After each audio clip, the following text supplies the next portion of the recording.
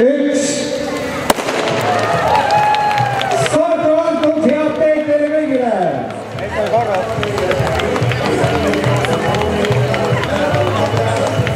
kolmeni on äh, võimalik minna siis äh, ka äh, pesema Tallinna spordihalli.